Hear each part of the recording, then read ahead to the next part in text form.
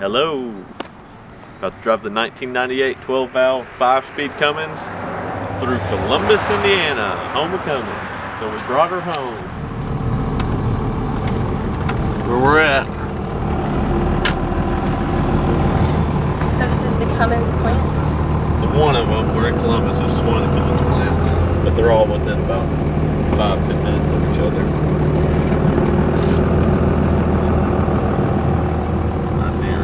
shots.